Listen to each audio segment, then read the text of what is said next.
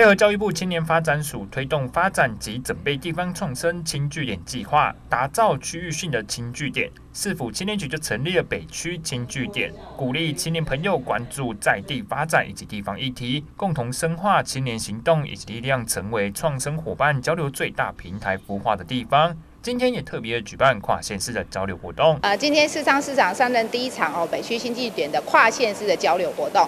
那我们今天是由新北市跟我们做一一起做交流，我们邀请到啊，我们一些呃微电影的团队，我们以前副市长啊来一起来跟我们合作，一起来谈谈论地方创生。也透过我们今天有桃园团队跟我们。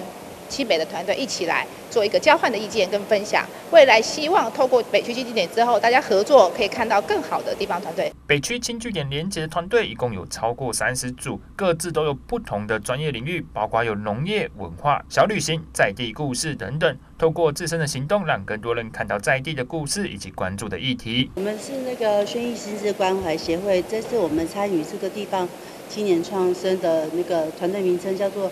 慢杯超人不一样，对。然后这个计划呢，我们主轴是呃带领地方呃脑麻青年，嗯创呃进入这个创生团队里面。然后呢，哎，我们有一些是呃我们有计划一系列的那个课程，是用丹宁二手丹宁布料改造循环再利用，呃一个永续时尚的课程。然后嗯。这个计划呢，还有四呃，其中有四项是呃，可以让呃企业或者是团体一起来参与我们这个零废弃时尚这个课程。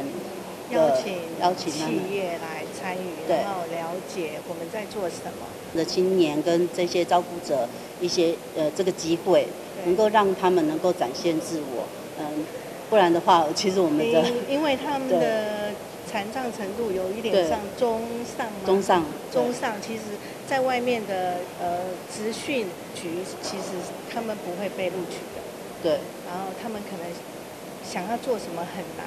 然后我们希望不要停留在说他们是在卖口香糖，你这看着心里会很难过。我希望他有别的呃呃自己的优势，找是找到自己的优势，他们能做的事情，然后呃让他们有得到肯定。